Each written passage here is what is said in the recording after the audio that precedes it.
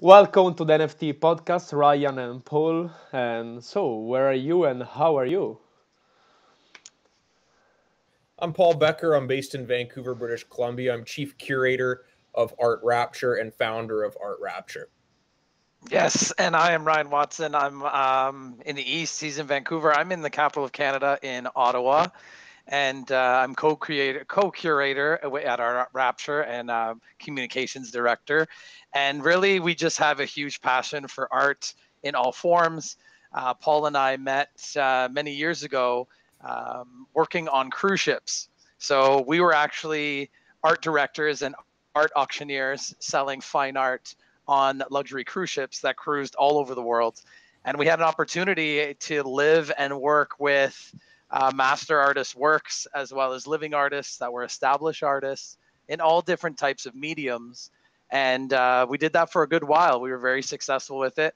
Uh, we did it separately. We uh, we met our wives at sea, uh, and uh, we continue to to be with them, which is awesome for them, but probably more us. and Sometimes. With, yeah, sometimes exactly. so, but with the real passion of art, uh, Paul and I obviously stayed uh, in touch, being apart. Uh, obviously, him being on the west coast of Canada, and uh, uh, Paul can talk a little bit more about Art Rapture, how its kind of inception happened, and uh, how it brings us to kind of today. Yeah, it's cool. Yeah. Let, let us know Art Rapture more. Okay, sure. So I started Art Rapture, I think it was 2015 or 2016. Uh, as Ryan had alluded to, got off cruise ships, hugely passionate about artwork. I mean, at the end of the day, for me, art is communication. It's been around before scripture. It's built in the threads of our DNA as human beings that art is important, and it it uh, great art speaks to us. Great art sings to us. And I carried that real passion from my experience on cruise ships and brought it back to Vancouver when I decided to take that giant leap back on land. And for anyone who's worked on cruise ships before, you understand that transition is not always an easy one. Uh, but one thing that really grounded me uh, as I started to re sort of uh, climatize myself to to life on land in Vancouver was my passion for art. So I started going and meeting a bunch of artists, and I'd start doing little auction gigs for other people's events. And just what I noticed was there was something lacking. Uh, it, it, wasn't powerful enough. There wasn't enough focus on you know the collector and and romancing the work and the story and the history of the work uh, to really make these shows exceptional. The lighting necessarily wasn't great. The venue was okay, but wasn't really designed properly for art. And so I said, screw it. I'm going to do this by myself. I'm going to create a company called Art, an event called Art Rapture. We invited about 15 different artists to around a 3,500 square foot warehouse venue. I got financial sponsorship behind it. We got uh, beer sponsors, wine sponsors, alcohol sponsors. And then uh, we did a two day pop up show, brought in a construction team, built walls that looked like uh, that were corrugated metal. So it looked and felt almost like uh, a shipping yard, like shipping containers. And then we mounted art on these containers. We partnered with a charity. I ran a big VIP auction the first night. We raised a bunch of money for, um, you know, the fight against homeless, youth homelessness in Canada. And uh, then we had this great art and, you know, 15 different artists from around Canada. And the show like way exceeded my expectations. It, there was clear that there was a gap in the market in Vancouver for great shows. And I'm sure in Europe, these shows are common, right? In places like Madrid or uh, you know London or Paris, and then in America like L.A. and New York and Chicago, these shows are probably pretty normal. But for Vancouver, it was something that was missing, and we had a huge lineup, sellout crowds, and we sold a whack load of art. You know, we got amazing works in collectors' hands, and you know that's where it started. We called the show Art Rapture. I didn't know I was going to call the company Art Rapture, but we liked it because rapture is a word when you break it down in, in the dictionary and synonym you know it is a word that means you know euphoria bliss passion joy all these things. And so created this company where like our vision is to achieve rapture through visual art. And that's sort of the inception of art rapture we carried that through with another big show where we brought okuda san miguel from from uh, madrid to Vancouver. We popped up a big mural in Vancouver. We had some of his artwork for sale. Really cool uh, bull sculpture that one of my close friends collected. Very jealous of uh, that collection. I'd love it in my own collection. Um, and then I did some solo shows, one for Ola Volo, uh, one for Sean Jantzi, who we would definitely want to talk about today, two for Sean Jantzi. And I, I, I took this sort of group mentality and then said, hey, I want to do some solo shows. And with Sean, it was a really interesting experiment because we took a guy who really hadn't sold any work outside of his circle of friends. But I saw this massive potential in the artist and just a great human. One of our core philosophies is we only work with good people. Uh, I can't stand, you know, people that complain a lot and uh, um, you know expect us to the world to give them stuff. And and Sean's not that. Ola's not that. You know, real humble people. And we did a solo show uh, for Sean called "It Was a Very Simple World," and we, I was so incredibly proud of that project. We sold about 80 85% of the show in two days and then he had a list of like 25 commission requests after that show. And that's one of the proudest moments I've had in, in my career as an art dealer. And then we did a show the next year called POV, which, you know, as we get down the discussions today, we'll talk about more, which is a point of view series. And it was fun, it was sexy, it was hot, it's cool. And uh, we sold a lot of the work out of that too. And, um, you know, then we've grown from there. And now, you know, fast forward a couple years, and it's like NFT space and so working closely with the artists that are closest to Art Rapture and where we have a lot of mutual bond and respect for each other. And they've put a lot of trust and faith into Art Rapture to do the research and the development and the understanding of the NFT market for them so that they can focus on creating really high quality, exceptional work for the NFT space. And then Ryan and I, you know, do the evaluation of what's the best platform what should the price be? Do we focus on USD versus Ether? Uh, and and you know dive into those realms and aspects and and and coach and manage the process when dealing with the platforms of choice uh, to make sure that everyone's happy.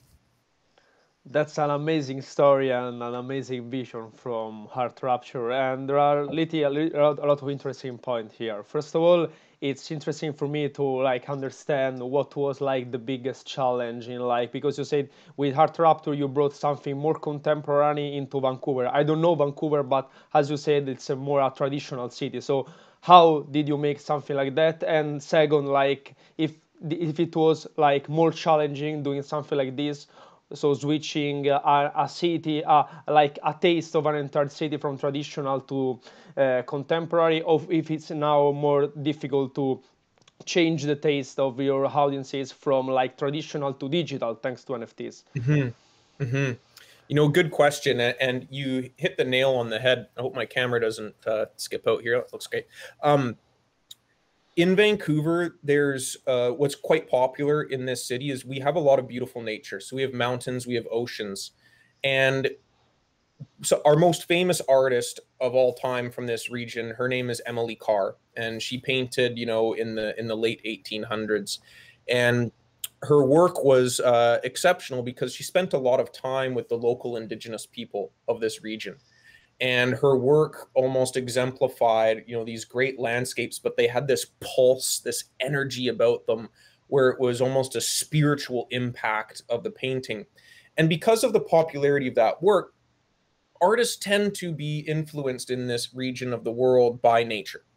And the thing for me and i don't mean to be rude uh, but i've just seen so many landscapes it was enough right? Like i'm a fan of surrealism right? Like behind Ryan's head there, you've got uh, Salvador Dali from the Destino series.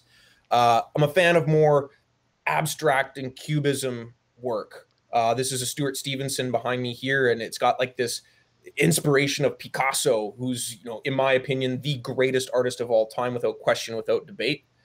Uh, and then, you know, more the stencil street art where you've got Banksy, who's obviously the biggest player in the market in that realm, but there's a lot of other great stencil artists in the world too like Martin Whatson and like this guy uh, iHeart out of Vancouver as well. And you know that's the thing is this show I wanted to bring forward that um, art that was more of a punch in the face uh, than it was like that easy, soothing um, landscape work. and I wasn't sure how the crowd would react because Vancouver is a little bit more um, traditional is a word, but I guess more like difficult in embracing things that are more risque or bend the boundaries. So, as an example, in Europe, I see a lot of work like by this guy, Cleon Peterson. You know, he did work underneath the Tour Eiffel in Paris. Mm-hmm. But to get a Cleon Peterson mural in Vancouver, I think would be very difficult for the city to approve it. And so it's just kind of interesting. And I think that's what a big challenge Art Rapture is like, how do we show the public here, um, you know, great quality work that might uh, at first appeal to them, be like, I'm not used to that. So that, that's definitely a challenge uh, for sure. And but we overcame that quite easily, and I think it comes down to a, a couple of things, uh, Francesco. And I think the number one thing is is passion. Um, I myself am a hugely passionate fan of artwork. And um, some of my great accomplishments is when I take a close friend of mine who's never acquired a work of art in their entire life. And they, in fact, think even spending a, a, a sum of, say, a thousand or two thousand euro on, on a work of art is astronomical and completely out of the realm. But they will spend uh, 3,000 euro on a television, right? And helping them understand through the process of education and passion that art is so much more important. And a house is not a home until you have fine art on the wall. And when you look at a BMW as an example, you wouldn't put $20 tires on a BMW. So why would you spend hundreds of thousands, if not millions of dollars on a home and put a $100 artwork on the wall? It doesn't make sense. A house is not a home until you have fine art on the wall. And so um, you know, it, through passion and through education, we've been able to overcome those hurdles. And then that helps open people's eyes and open the door to new realms of possibilities for their houses. And so, again, back to that person who never wanted to acquire a work of art before, I now have those same people addicted and salivating to buy another work of art and can't wait for another art rapture show and i go into their home and i'll like count the amount of pieces from our experience as art rapture that they have in their home and it's like one of my friends is 15 right? He, he thought spending a thousand dollars on a work of art was insane. Now he has 15 works of art in his house from art rapture. And it's because they they need the education and they need to understand the passion and then that historical importance and cultural relevance of what art truly is. And I think when we link that to answering the second part of your question, right? So now how do we go from that new comfort level with art, fine art in in whatever that way is that you've collected to now saying okay, so your art's a, your house is a home, you have fine art on the wall. Now wait for a minute. Now come onto your computer or your phone or your digital device and let's collect a digital piece that is not in your home, or I guess it could be in some random kind of digital display or what have you. But mm-hmm. now, how do we bridge that gap? And I think, you know, it really comes down to a few different things at play. But if we go down to the actual blockchain technology of it all, the token, which is the NFT, the non fungible token, the whole idea of it. And then you attach to that token either a JPEG or a movie or a picture or whatever, text and then it's minted. It's still a token. You know, the token economics of it all makes sense to it. The blockchain technology of it is important to understand. Now, take that out of the context of everything else and bring it to an artist that uh, like Emily Carr, which Paul referenced, we can go to Picasso back in the day. He's sitting in Spain in a beautiful uh, landscape and he's just drawing on a little pad of paper getting something down. Now, to take it from that pad of paper to a painting, to a lithograph, to a limited edition, to being priced, to being put into a show, to being then sold.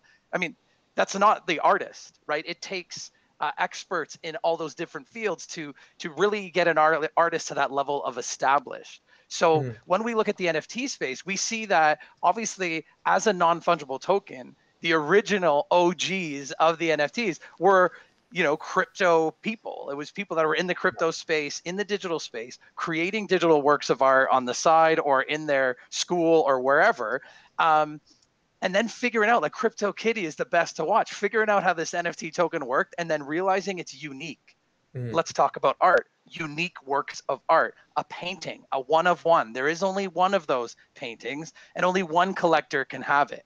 Now, this one is a lithograph. It is out an edition of 350. So there are 350 original lithographs in this edition that exist, but only 350.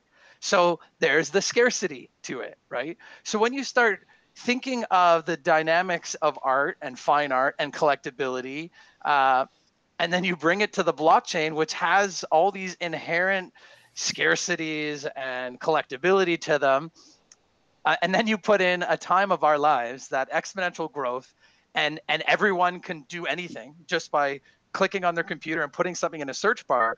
All of a sudden you have people and with lockdowns you know we're curious. We want to know what's going on. And so how do we make money? You know people are thinking that how do i make and everyone's just there searching things and then you hear this thing nft that like since 07, 2010, 2000, like people have been doing this. But now we start seeing, okay, everyone's coming to this market. So now let's pause on that. Established artists in general, if they are artists as professionals and they are established and they continue to do their shows and they continue to do their graphic runs and their paintings and etc well that's someone who's established so in the nft space i'm always going to recommend collecting an artist that is an artist that's established yep. that is so and and you talked about Gary Vee You know, when we talk about uh, Gary Vee sorry, when you talk about him and you start saying, he says, think about someone that's thinking 30 years from now and not 30 days from now. Mm-hmm. You know, he's dead right. You know, we're talking about 100%. artists that are doing it anyways. So if you can already love their work and collect their work in whatever medium, if it's the painting, amazing, the one of one. If it's the lithograph out of 350 and you get one of them, congratulations. If it's the NFT from that artist the one of one or the limited edition it's still the artist's work. It's it's it's the same collectability so then it comes down to what can you afford that you're comfortable with and then pressing collect. And and that's where we all kind of it all comes together. Mm-hmm. yeah well said. I think the only thing i'd add to that uh, ryan is is sort of the two core values uh, of collecting for art rapture and i had this uh, long before even art rapture uh, came to existence. So I had a almost a consultancy firm before Art Rapture, which is called uh, Erik Becker Fine Art. It's my middle name is Erik. And two rules of collecting: one, love your collection. Only acquire. So if anyone says like, Paul, I want what would be a good investment? First thing I say is, don't acquire art as an investment. It can go up in value. That's cool. It'd be great if it did. But stick to this and you'll never make a bad decision. One, always love your collection. Acquire what you like, what you love, and you'll never make a bad decision. That's so important. because you like you love it. That's right? so important, of this, course. The second rule to collecting is evolve your collection. And what I mean by that is, in addition to what Ryan's saying, is when he's talking about limited edition lithographs and one of ones and what can you afford. So my easy example is like, hey, I love Cleon Peterson over here. This is a limited edition lithograph. It's not cheap. It's what I could afford at the time. I love it. It ticks the boxes. I collect it. I'm proud of it. I own it. It's authentic. It's wonderful. There's a story and history behind it that'll take me another 10 minutes to explain, but I won't do that. But then it's like, how do I evolve my collection? I've hit number one now. Love my collection. How do I evolve my collection? Well, I need a one of one original painting by Cleon Peterson. Absolutely. And maybe I can't afford it today, but I'm going to strive to afford it. And I want to focus like that energy and that passion that people get and almost this addictive personality about collecting things into wanting something that's even more special than the last thing I got. Now, it doesn't mean don't buy limited editions of any other artists. It just means for this particular artist, now I have a limited, and to evolve my collection, I need a one of one. That's powerful.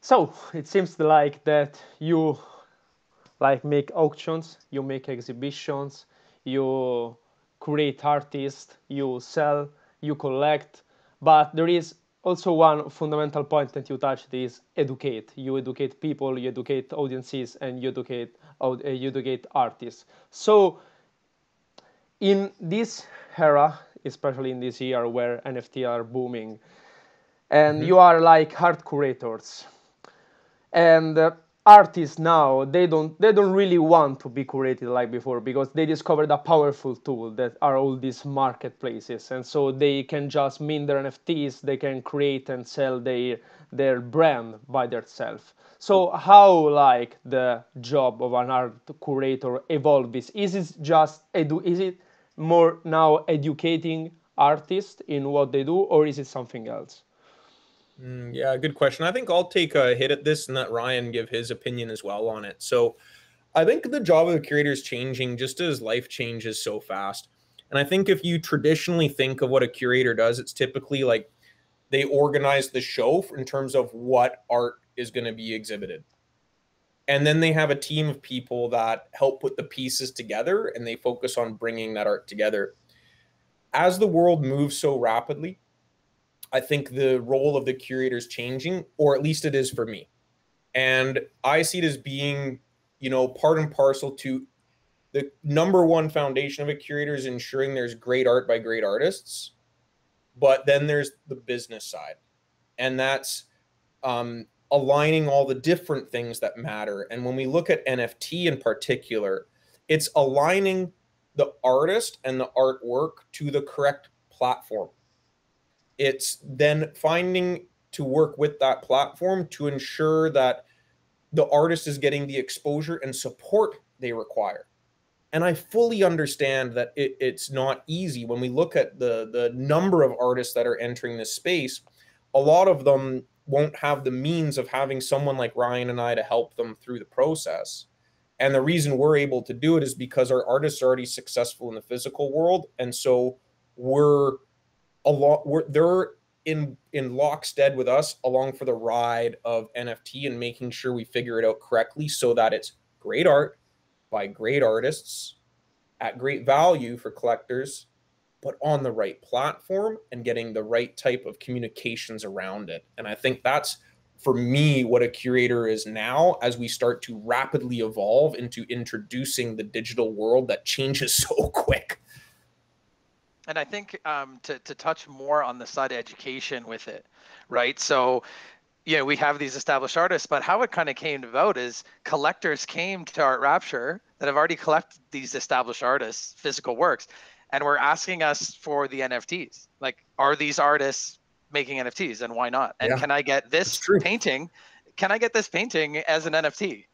And so, you know, that made us really question what was going on because the collector is listening uh, and evolving evolving the collection right? So this is a different way of evolving. So now it goes to the artist and we have to educate the artist in all the basics of what an nft is how the blockchain technology works why you know what is it about it and is it an energy sucking thing that's like blowing up the world or is it based on ethereum price points and bitcoin crashing and like you know if you go and start talking to somebody about cryptocurrency, like they're gonna, if they don't know anything, they're gonna say Bitcoin and it's crazy and it's vapor and whatever. Like it's just the nature of it all. It's getting my, better. My conversation but, with my dad last night.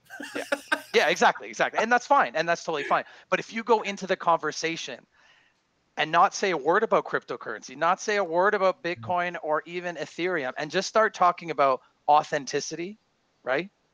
Uh, blockchain technology, the idea of transparency um, provenance, which is a word that mm. follows art since the beginning of time. Provenance is literally how did it go from the artist's studio, right, the place that it was created, to your collection, so and important. having that map. It's the most important piece. Provenance. It's funny because they say when you collect or when you buy real estate, they say you know location, location, location. With artwork, including NFTs, including anything that's from an established collectability factor, is provenance. So KnownOrigin for us is the platform that Art Rapture uh, has chosen to work with, and we've worked and they've chosen us, and we've been working together with our artists and and KnownOrigin. And there's a reason for that. You know, we want to make sure we're working with a team that is here for the long run. And yes, yeah. we realize that Ethereum, again, education though, Ethereum isn't the be all end all blockchain in my opinion, it's 2015 smart contract technology, but it is where the volume is. It is where everyone is living right now with all different chains everywhere, but really that's where the fine art is if we talk about it that way. So educating the artist that isn't in blockchain, isn't in crypto, and guiding them through the stages of a MetaMask wallet on Ethereum or EOS on Wax or you know whatever the story is. That's something that we bring to the table as well with Art Rapture is. Uh, you know, we all have a huge understanding of the crypto space and have been since its inception, since early on. Uh, and it's just really cool that now we can kind of fuse the space with the fine art and and really kind of have some fun with it. Mm-hmm. Yeah, I totally agree. Um, okay, and let's touch another vertical of your business because I'm I'm very interested in covering that is auctioning, of course. So how yes. auctions are changing from 2020 and 2021 now that we see all these platforms like you mentioned KnownOrigin and then of course we're going to also talk about later about KnownOrigin and what you're going what you're you're working on now. But basically auctions. What's the revolution now? Yeah. So you know it's a big big uh, a topic to cover but i think if we zero in specifically to to nft um, there are companies that are doing auctions very well, and I look at uh, platforms like Nifty Gateway, um, and they've done a bang up job on addressing uh, the market really well from a open edition auction, a one of one auction, and maybe a larger limited edition auction. And I think it's smart, man. Like it's really smart. Um, and for us, Ryan and I, we're you know we're we're personality types at auctioning. And Ryan actually trained me to be an auctioneer. So, you know, Ryan especially gets involved in, in charity auctions, and you don't get that atmosphere uh, in the digital world on an auction versus uh, the physical world. But hear me out, man. Like, I'm a sponge, I love to learn. And so, what the NFT space is teaching me about auctions, I'm going to start applying to the physical world too. So check this out. So normally I'll do like a physical auction. I'll get up on stage, do this big hoorah, have fun, crack jokes, you know, bang the gavel, you know, sell a bunch of stuff. Ryan and I have a whole bunch of tricks up our sleeves on how to sell multiples uh, and do mysteries and all sorts of cool things, which I think some of that technique can be applied still to NFT. And I think as KnownOrigin evolves, or they've asked us to start helping them with some of those ideas, but I think we're ways out on that, to be honest. But hear me out. So seeing what Nifty does with like an open edition auction, where it's like we're open for five minutes and the edition is only as big as five minutes will allow. So if 50 sell in five minutes, the edition's 50. If 5,000 sell in five minutes, the edition's 5,000. And Ola Volo and I are working in partnership with a company in Vancouver uh, later this year. And I'm going to apply that methodology to physical prints and we're going to release for an hour as an example. We don't know the time frame now. Say an hour. However many sell in that hour becomes the edition size, and that's the number of prints we're going to go have printed and Ola sign and put in a tube and send to collectors.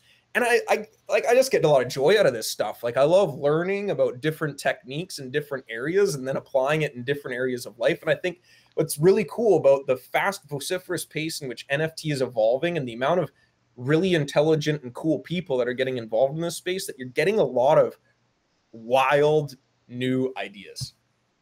That's for sure. Cool cool absolutely. So you, you teach me a lot about like how to do an auction and like how to it's interesting for to see that you are learning from digital world and applying the same on traditional. And as you said like KnownOrigin you help them like in building like the the, the auction process so from traditional to digital world. And so let's yeah. talk more about KnownOrigin like how how is born like this partnership this uh, when is want once uh, of, working together and what are you working on now? Yeah i think uh, the one one thing to say right off the bat is KnownOrigin when we started chatting with them uh, we're, we're all in right away uh, we set up a, a, conference call with them, had the whole team there, and really started throwing out ideas of what we were looking for for our artists as a platform, and then at the same time, what their platform could do with established artists. Now, obviously, they had uh, and have established artists in that digital space, but not necessarily as much in the physical world. So it was a neat kind of collaboration there um, as we started to work. And uh, I'll let Paul talk a little bit more about kind of what's coming out right now and what we're doing. But as we as we kind of worked on feature drops with them, um, which happened on Fridays. Uh, we have one coming up this Friday right now. I think this is going to air after one drop, but Ola Volo is, is coming out on Friday. May 7th. Um, May 7th, thank you. Uh, and so with feature drops, something different they hadn't done before was provide content about the artist. So it used to just be, you know, on Thursday at four o'clock, this artist is dropping these pieces, and these are the five that we've chosen uh, this week. But a feature drop, it was one artist that was focused on, and then certain pieces in a collection for that drop specifically. And then when you clicked on the web page, it actually was full of content about the artist, the history of the artist, maybe some YouTube clips, some movies uh, showing the artist, some documentaries about the artist, anything to really show the collectors or just people interested in the artist's work more about the background. To really give that that sense and idea that you're collecting an established artist. So, and again, it comes back to my main point about Ethereum prices and all everything else if you are collecting NFTs and you're serious about collecting, you're not looking at the daily price. You haven't looked at the daily price since $175 uh, four months ago, you know, and so, and you've still been collecting when it was at 1200, 1300, 2200, and now 3500. You're still going to be collecting at 10,000 an E. And chances are you're not going to buy an E. You know, you have a collect you have Ethereum. You've been collecting Ethereum for a long time. So that all said, finding the right artists to put that Ethereum in, essentially holding it. If you're a holder, anyways, hold it in, you know, fine art that you know you can use, which is great rather than just sitting in your MetaMask wallet. So there's there's kind of some fun plays there with KnownOrigin as well. But I'll let Paul talk a little bit more about how we've worked with them and collaborating into these mm-hmm. drops, and then um, specifically with Sean Jantzi coming up. Yeah. So uh, to to be brief on it, so May seven, I don't know when this is exactly going to air, but May 7, 2021, we got a really cool feature drop for Ola Volo. Uh, I get text messages from her like yesterday saying how liberating this experience has been creating digitally. And so I'm having a talk with my dad last night, and he's kind of, you know, a naysayer on NFT, thinks it's going to disappear and go away. And I'm like, Dad, that's cool, but you got to understand, like, let me read this text to you from Ola Volo you know she creates a lot of corporate work right? Where or murals where there's you know regulations and some level of strictness around what can be shown and approving this approving that. Well with nft she creates digitally to start her work process anyway.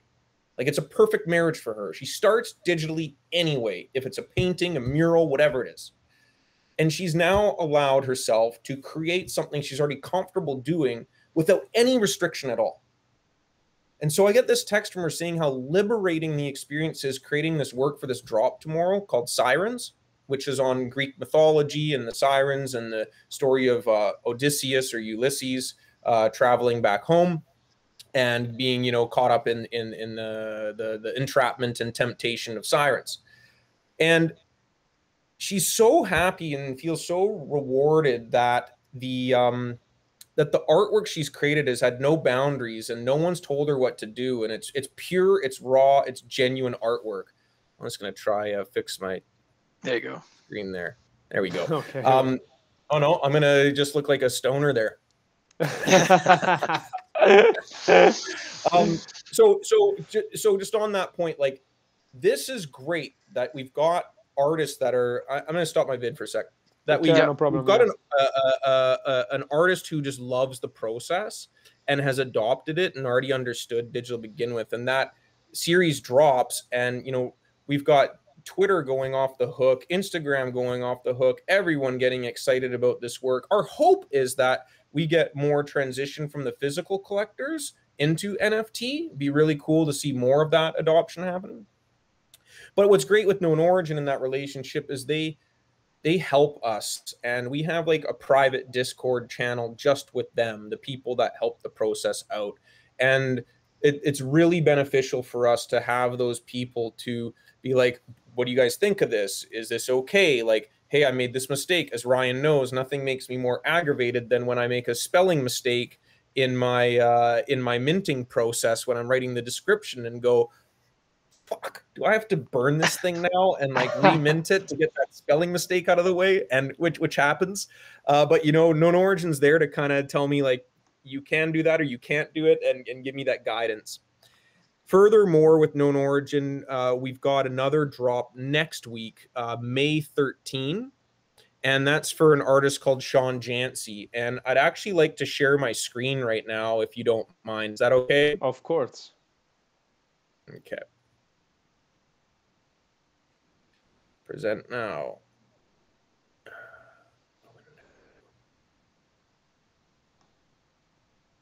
Okay, so do you see that?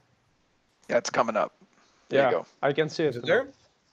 Okay, cool. So this is one work of a series of three that are going to come out from Sean Jantzi next week, and they incorporate the POV uh, style that uh, many many people adore, and he's got a lot of commissions out of the POV point of view style. They're fun, they're sexy, they're they're easy on the eyes, but he also uh, draws inspiration from the greats like David Hockney and Tom Wesselmann and other great pop artists. And Sean here has a, a, series coming out called Dusk, and it's three point of view series, all based in a dusk setting, and uh, a bit dissimilar to Ola, where Ola always starts digitally. Sean typically starts with a paintbrush, and so he's created all these paintings and has really he's self-taught and hasn't gone to school for digital work at all. And I think that's what makes his work so raw and so real. And so then he started looking at, you know, hey man, like I'm having fun with these NFTs. I don't want to be putting up, you know, photographs of my paintings all the time. Like let me have a crack at painting digitally. And he just I love it. And other people love it too and this is just uh, you know one piece i'm going to drop my screen and uh and share some share another one Sure. Yeah, and I think um, just to jump in, Paul, as you're as you're showing it, we saw right off the bat with Sean Jantzi and NFTs that collectors jumped on it right away. So this was, uh, I guess, mid March, end of March, and the, his point of view POV works came out, and collectors picked it up. And NFT collectors, that if you're in the Twitter world right now, uh, and if you're in the NFT space and you're building that NFT community with everyone else that's out there, including us at Art Rapture, uh, I think it's is it Art underscore Rapture, one of the two, but yeah. find us. Uh, but yeah, so but the one thing that um, that we've seen is that the big collectors in the space, like NFT Girl, for a great example, yep. who's just been an amazing, oh my goodness, man, her support of the NFT space in general has been phenomenal from like Decentraland to NFT art all over the place. Like she has just been phenomenal for the space. Uh, her and her crew, to be honest. And she collected Sean Jantzi right when he came out, right off the hop. A lot of the Genesis pieces she grabbed, and you know his work. It it's just spun so much energy to it. So, uh, Paul, did you uh, did you find that other one for Dust? Yeah. So I just want to know, did I share the one with the Cerveza or the one with no, the, no. the hands? The hands, yeah. With the hands, okay. yeah. Yeah. Okay. This one's popping up. Wow. Also this one. So this one's got some. Yeah. Oh, there you go. Yeah. There. there yeah. So this one's got some great vibes yeah. to it too, right? And you know, this just it makes me want to be there right? and I love that about art. And this could this is digital. It's on my screen. I'm looking at it right now, guys, and I legitimately am getting a smile on my face looking at it. Right. and I've got a painting by Sean, a POV painting in my office as well. Once I stop sharing this, I'll maybe put my screen on and, and show you. But I really like how Sean's adapted to this world and jumped in with both feet with energy and passion and wanting to not just do something quick and easy, but he'll like he'll message me at like 2 a.m. and he'll be like, I'm poking my eyes out right now. I've been looking at my iPad for 14 hours straight working on this piece. And I'm like, bro, go to sleep, man. Like, wake up and work on it the next day. But he's the point is, is he's just so passionate about it and he's having it's re- it's a rewarding experience for him. So we're looking forward to next week's drop on KnownOrigin, Sean Jantzi Dusk series. Yeah, solid. Cool. Can't wait. So and that's a drop like on origin and that's very interesting for me to see that you're working with them because i i love the business model of the platform that they've got few artists. I i was reading now they've got just about 20, uh, 2000 artists so they want to be small they want to be they want to keep this like hell Italian model and i really like it because for for for you that i come from a traditional world maybe it's better also because we're, what we're talking about. So working in a, in a, in a small environment like changing the taste of your audiences in vancouver i think that's of course cool.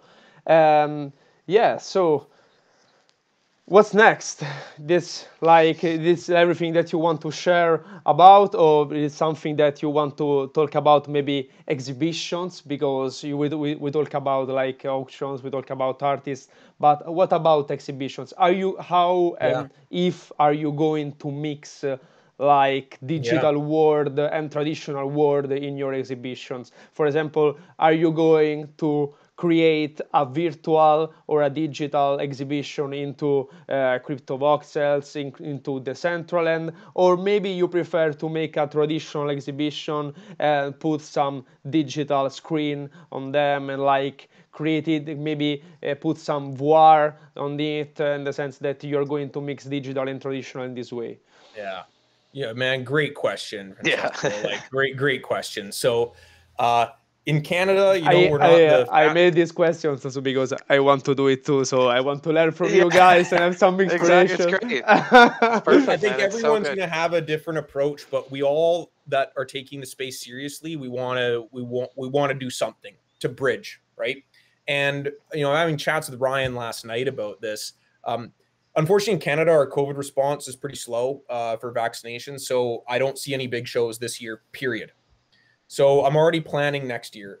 And I want to do a, a really strong, big, huge show in Vancouver, my biggest show yet, uh, called uh, Odyssey.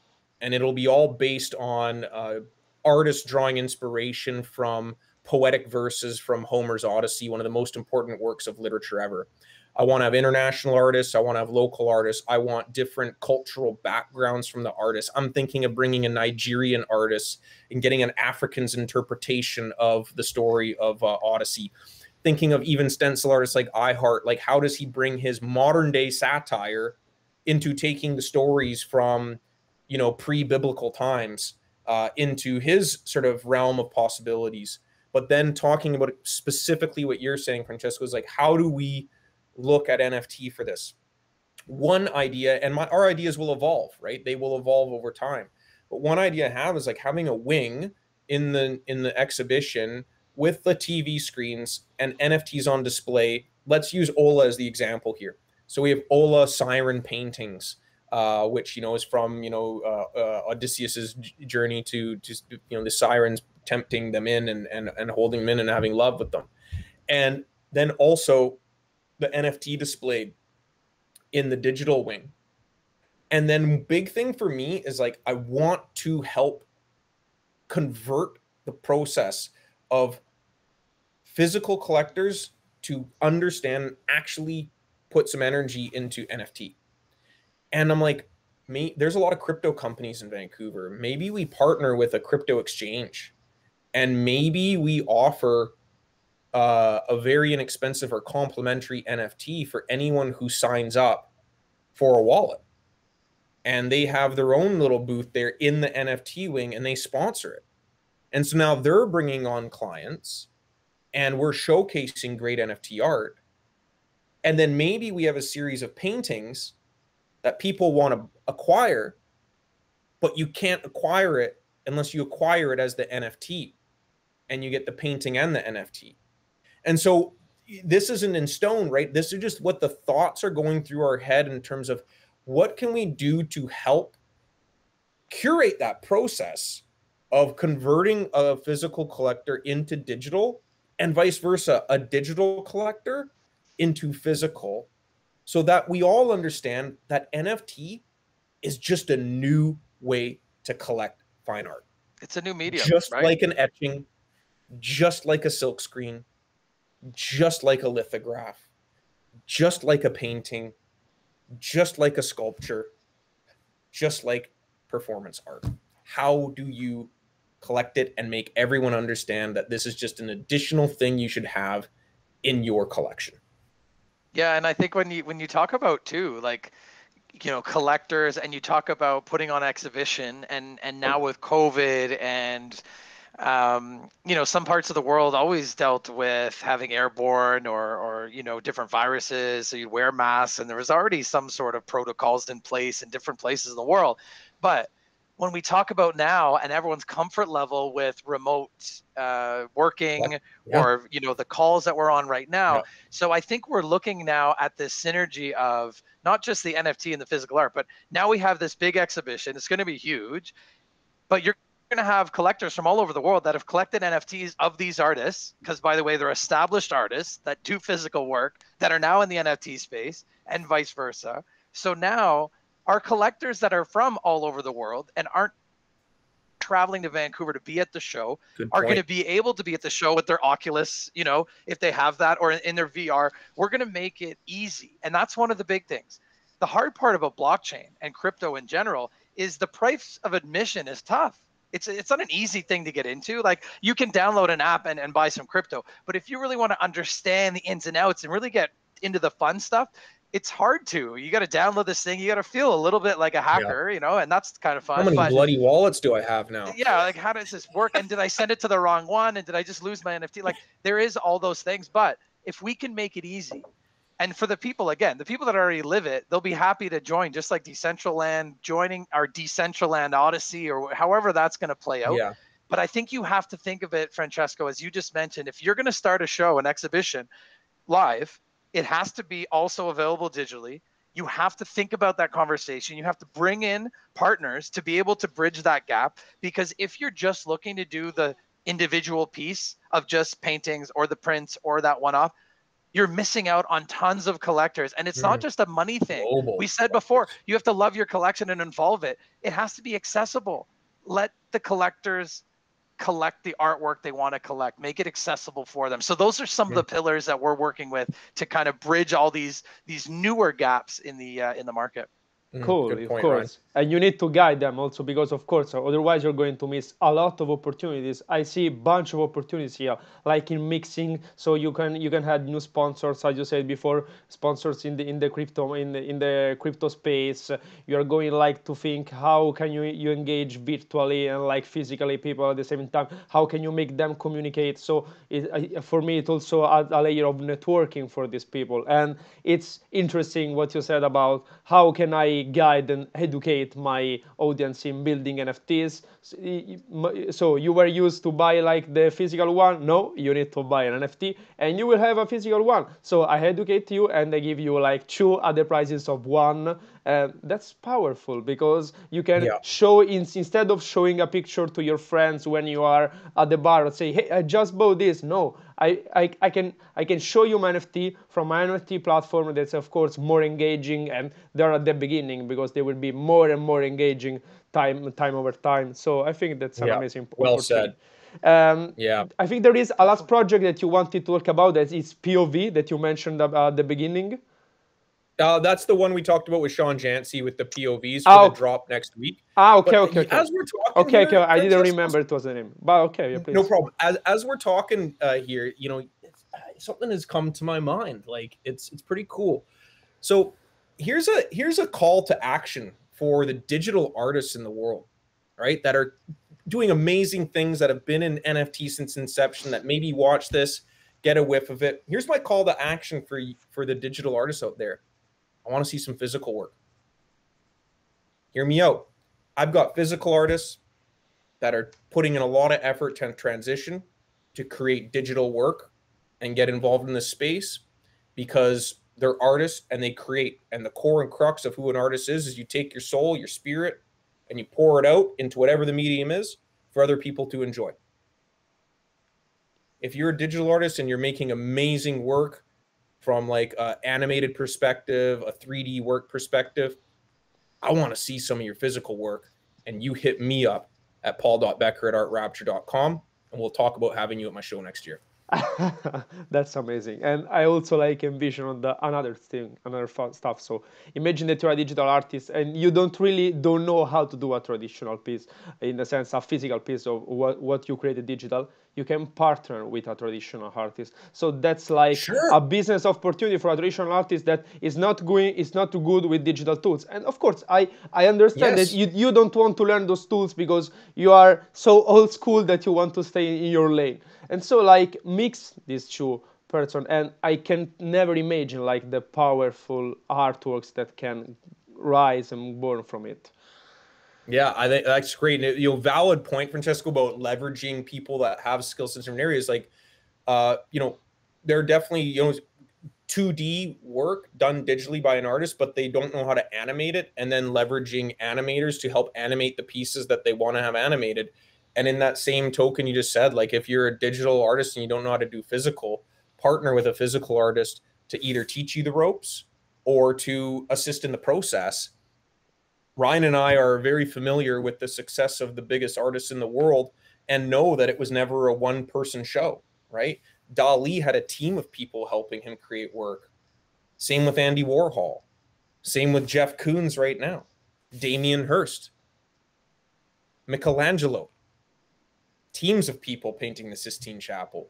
Don't be scared to leverage resources provided you stay original to your vision and your art it's still your art even if you use other people to help you create it And to take it to the to almost a nice little comparison there is let's talk about printmaking, right? So Mhm. you may be an artist that you know you do the digital work and like you're just saying you might not know how to do it in the physical world. Well, in the physical world, let's say you're you're a painter and you paint, but you don't know the first thing of printmaking, like to pull your own prints, but you want to have an edition at a 250. Well, you need to you need to be educated in that. So yeah. that's art something that we rapture work uses with malaspina printmakers on granville island because they got the skill set and the tools and the know-how to create beautiful exquisite silk screen uh, works of art for us. You And know it's it's, not Ola pulling the silk screen it's malaspina printmakers pulling the silk screen But then traditionally, just like it was back in the days for that, the artist is there supervising. The artist comes back and checks and proofs. You- Then Yeah. that's where you get the artist proof, the AP. The artist proofs the works, make sure they're cool. And then the printer goes for the edition. And the artist goes back and makes sure each and every one's cool. If it is, numbers it, signs it. Yeah. So there's no difference in the NFT space. If you're Yeah. an NFT artist, and Paul, great call to action. Like if you're an NFT artist that has established yourself in the NFT space, and you are looking to bridge that gap with your collectors that you have lots of, and you're looking to bring that physical world to it, we challenge you to bring it on. Definitely bring it on. Yeah. And that's the thing is we have the resources anyways. That's but I mean it comes from an artist that has already a passion for the work. It's the work itself, as Paul just mentioned. So the medium that we use to make it collectible for the collector is a small piece, really, in the bigger scheme of of the artist's work. yeah well said. I'm i'm stoked I totally see some- agree. Yeah, and because because yeah, like we you you mentioned like traditional artists, and at the beginning, like Paul said that Picasso is one of his favorite. You've got uh, a paint of Dali there, and I really advise you guys to see my seventh episode with Juliana Plexxo because she's working in the studio where Dali and Picasso were working, and she's practicing way. the she's practicing the engravic technique, and she's bringing it to another level on the digital world in the NFTs. So that yeah, sounds awesome it sounds pretty awesome, very a huge idea.